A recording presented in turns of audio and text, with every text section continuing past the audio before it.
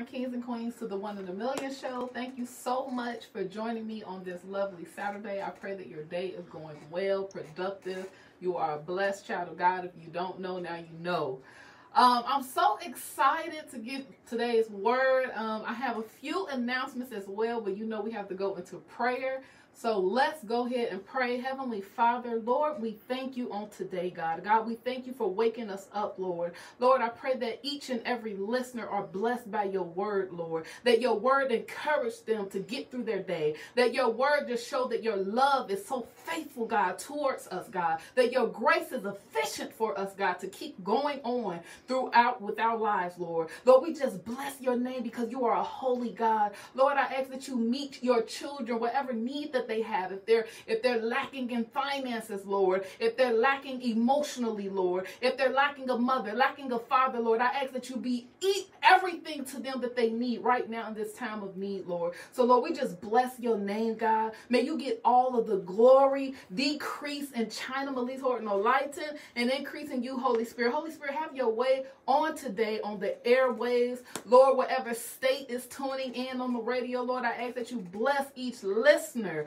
Bless them richly with your word. Let them hear from you and not China. I'm just the voice. I am just the vessel, Lord. So, Lord, I just humbly come before you, just asking that you decrease in me. Holy Spirit, have your way on today. And we give you the praise. In Jesus' name, amen.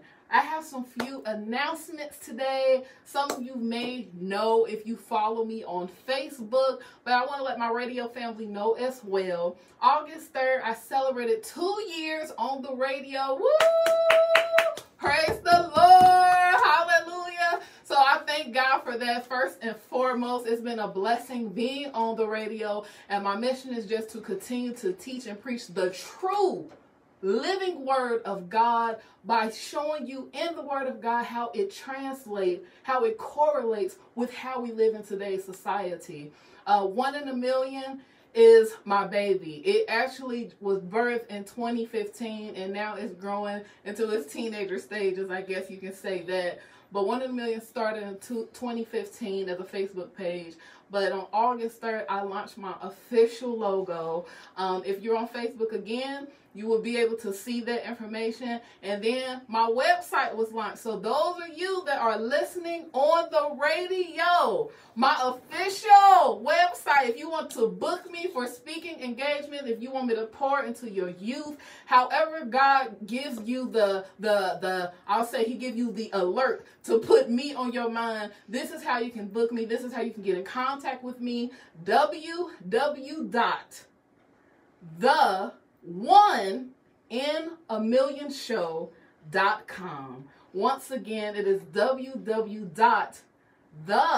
one in a million show.com. I also released my first batch of merchandise. I just want to say thank you to everyone who purchased within two days. I almost completely sold out. So that just that just shows that God is faithful and I just appreciate the love and I appreciate the support. I am going to be restocking soon, so I thank you for your patience. So please, guys, just make sure that you go to my website. Everything you want to know about me is on there, about how my ministry started. I am a licensed minister in the state of Ohio and under the leadership of Power and Faith Ministry. So everything that you need to know, spoken word artist, being a host, being a host on my radio show, everything you will see that on there, okay? I also want to announce Power and Faith Ministry pastoral anniversary is coming up and it's happening next week. Friday, August 13th through August 15th, we are going to have Quan Howell from the Sounds of Blackness coming to visit us from Columbus, Ohio. We'll also have Pastor Howard Williams from Victorious Life Christian Center also coming from Columbus, Ohio. And if you didn't know, we are celebrating Apostle Ron Banks and Pastor Jerry Banks on their 24th anniversary, pastoral anniversary. So you want to make sure that you are in the building. Tickets are selling fast, so you want to reserve your seat immediately. Then on August 14th on Saturday, we'll have Pastor Angelo and Veronica Petrucci coming from Higher Place Church, Nashville, Tennessee. And then we'll also have Bishop Anthony Span from Potter House Ministries from Morristown, Tennessee. So we have a lot of people coming in from different states, different cities to celebrate with our pastors. If you want to join, you are more than welcome. Power and Faith is a big family, so we welcome each and every body who, who wants to come. You are welcome to come into our family and come and worship with us on this special occasion. If you need tickets, you can definitely call Benita Florence at 513-284-0949 and also Jamal McMillan at 513-696 2170 and this will be happening at 8120 Hamilton Avenue, Cincinnati, Ohio in the Hilltop Plaza and the banquet which is going to be happening on Saturday that is going to be at the Unico Event Center. So make sure you get your tickets ASAP. Don't say I didn't tell you because I've been mentioning it for quite a while now. So now we're about to get into this word. So if you are watching via Facebook, then you already see what today's topic is today. Topic of today is God can change tragedy to success. Once again, God can change tragedy to success. I'm going to try to get through this quickly, but I want you to get the meat of this word. So let's go ahead and start off by talking about what what uh tragedy is. It is an event causing great suffering, according to Google Dictionary, destruction and distress, such as a serious accident, crime, or a natural disaster. It also can be a bad event that causes great sadness, a branch of drama that treats in a serious and dignified style the sorrowful or terrible events encountered or caused by a heroic individual. Now let's talk about success. Success is favorable or desired outcome, the favorable or prosperous terminations of attempts or endeavors, the accomplishments of one's goals, the attainment of wealth, position, honors, or the like. So we see that those two definitions are very different from each other. And we're going to talk about this in the book of Genesis. I was reminded of this story when I was trying to upload scripture of the week last week and I couldn't get it up. I was having so many complications with getting it up, and I just said, you know what? I'll do scripture of the week next time. I do that on Mondays. And this, what I was thinking about, it just stuck with me. And I want to visit this story. I believe that we're going to dive into the scripture and it's going to show us that God is not a magician. God is not a genie in a bottle that we rub this bottle and we ask for three wishes. No, God is not that. But what we will see today that God is strategic. He's sovereign and he's a covenant keeper. He's a covenant keeper. And we're going to see this in the book of Genesis. I want to go to Genesis 37, verse 1 through 3. And um, in this scripture, we can identify um, at this time, it's going to be a main character. And I, don't want to say character because this is a true event, but the main person in this story is Joseph, okay? So um, we'll see how he obtained favor from God and how in his specific personal life, how God changed his tragedy to success. And I believe that God can do that through each and every one of our lives. These things that people endured during the times of the Bible was just so crazy. And God used these crazy situations and turned them into miraculous miracles. So I want to go ahead and go to chapter 37. And I'm going to read through this and I'll break it down so we can get a clear understanding of what's going on. So I'll start up with uh, chapter 37, verse 1 through 3. It says, Jacob lived in the land of his father's sojournings in the land of Canaan. These are the generations of Jacob. Joseph, being 17 years old, was pasturing the flock with his brothers. He was a boy with the sons of Bilhah and Zilpah, his father's wives. And Joseph brought a bad report of them to their father. Now Israel loved Joseph more than any of his sons because he was the son of his old age. And he made him a robe of many colors. So here we can already identify that Joseph was the uh, I'll say he was the favorite son. He was the son that was uh, was loved greatly uh, by Jacob because he was the son that he bore at a very old age. So that signified that he has a, a favoritism with him because of that. And um, I want to also clarify that with reading this story as I was studying, we have to understand that there's a royal bloodline in this. And what I mean by royal bloodline, uh, Joseph, uh, J- uh, Joseph is already indeed imparted into a royal bloodline because of the history of his forefathers, and we'll go ahead and talk about that. Now, Abraham was the father of Isaac. And then Isaac was the father of Jacob. And now at this point in the story, we see that Jacob was the father of Joseph. So we if you're familiar with the story of Genesis, then you know that Abraham from God, he was chosen to leave out of his country, but God made a significant promise to him. He said that you will be a father of many nations. And here we can already see that Joseph is connected in that bloodline. So if he is a father of many nations, and Abraham was told from God that your generations are going to be blessed, then we know that Joseph, he's already going to be blessed because he's connected through this royal bloodline. And I thought that was so significant because if if, if Joseph is in this royal bloodline and we see the miracles and we see the promises that God kept with Abraham, then we already can tell and we already know that, oh, he's a part of this generation. So there has to be a blessing somewhere in this story, correct?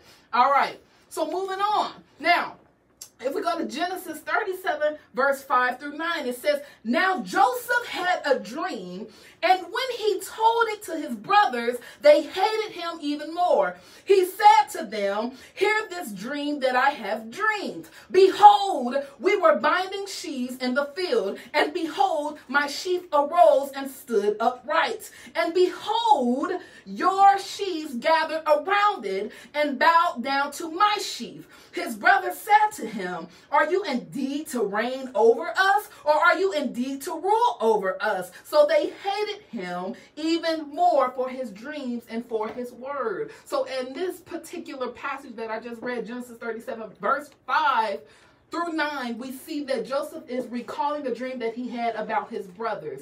And in this dream, uh, this dream is uh, showing that in a way that his brothers were uh, serving him in some way. So when he explains this dream to his brothers, they're looking at him like, okay, so what are you saying? Are you saying that we're going to rank? Are we going to bow down to you? We're going to worship? What are you saying? But Joseph goes on to continue with his dream. And this is where we see that the hatred and the jealousy starts to stem from this situation. But in his but I want to go ahead and go to verse 9 as well.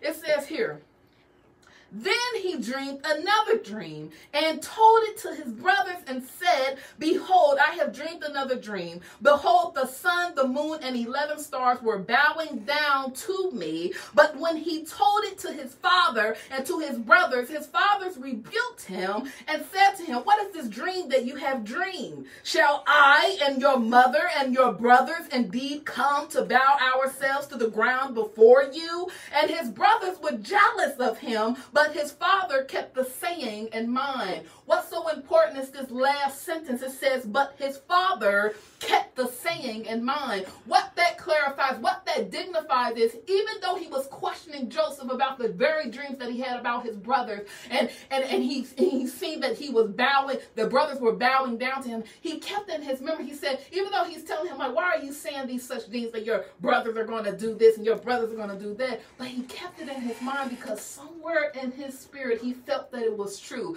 Somewhere in his spirit he knew that his son wasn't lying. So he kept it with him because he knew that in the future that this very dream that Joseph had will soon come to light. So in the scripture, it says, but his father kept the saying in his mind.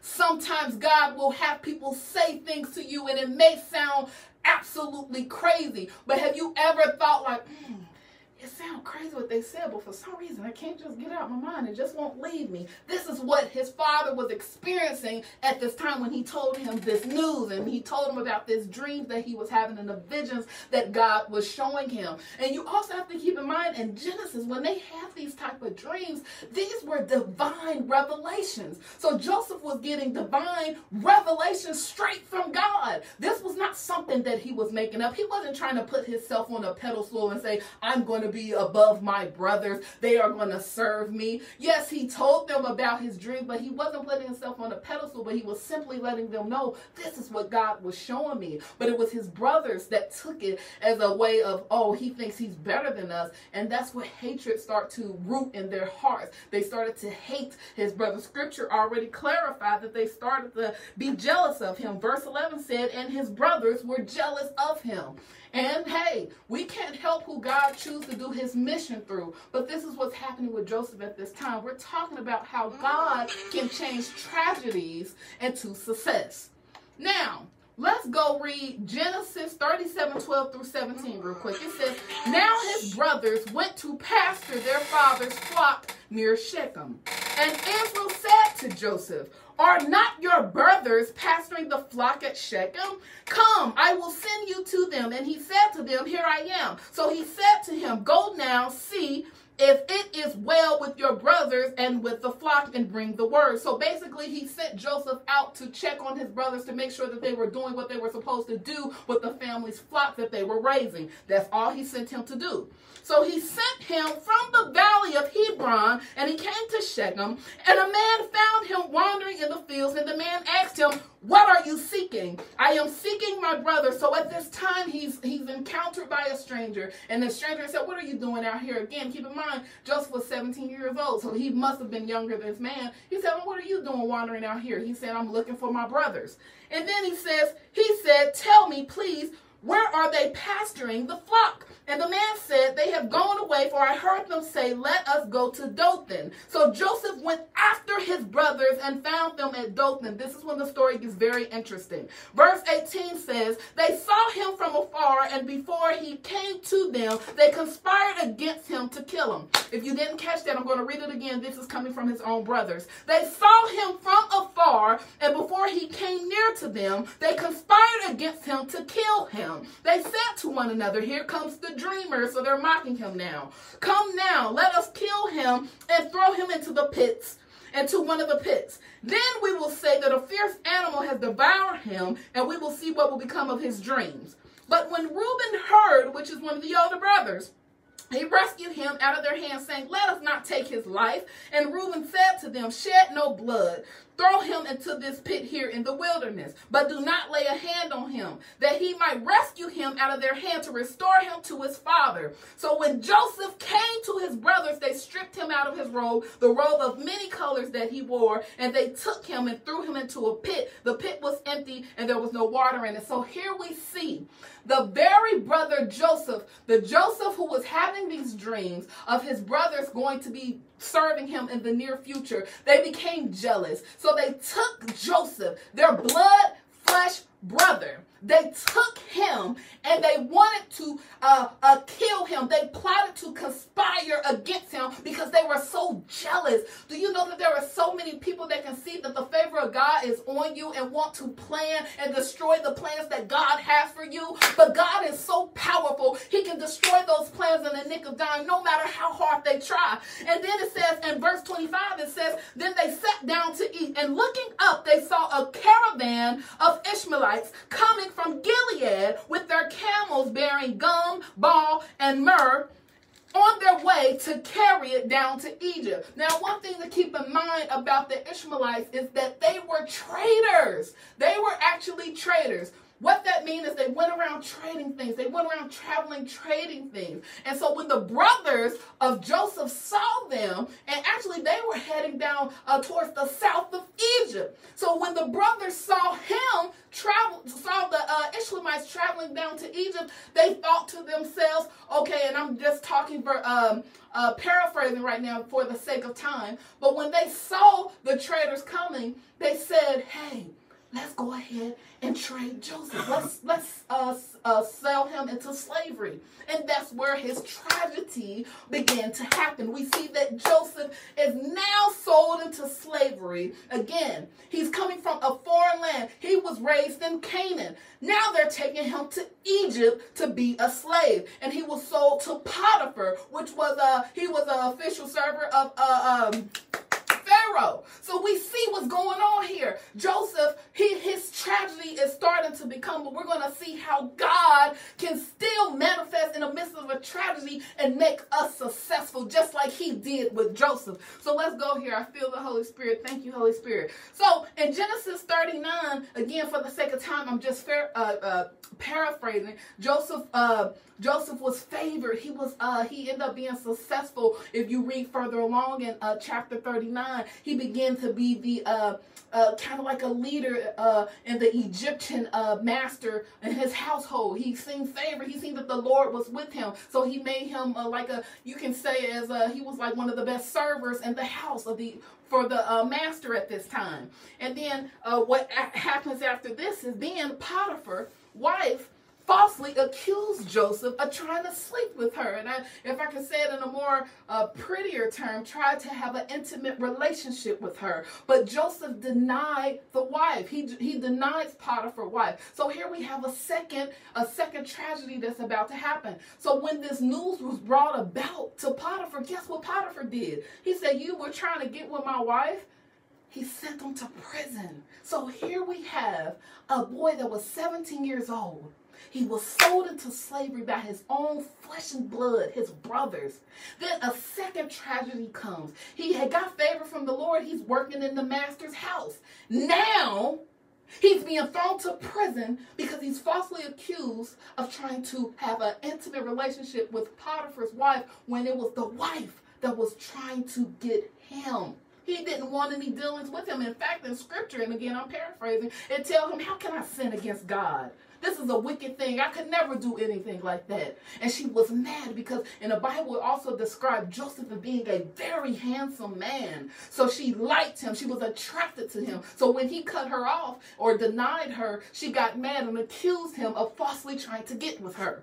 Now let's move on. So now, even though now we know we're at the part that Joseph is in prison. Now he's in prison. It's like, okay, God, you showed me dreams. If I was if I was Joseph back in that time, I would be thinking like, but God, I remember you showing me dreams of my brothers serving me. I remember you showing me that I will be favored. Can you think of what might have been going through his psyche at this time? I'm sold into slavery. Then I, everything was going good. I'm in my master's house. I'm serving. I'm over the other servants. Now I'm kicked into prison. God, what are you doing with my life? How can this tragedy turn into success? Please answer me, God. So in prison, then he became favored in prison later on, if you read the story. And he was able to interpret dreams of two prisoners that were also in prison with him.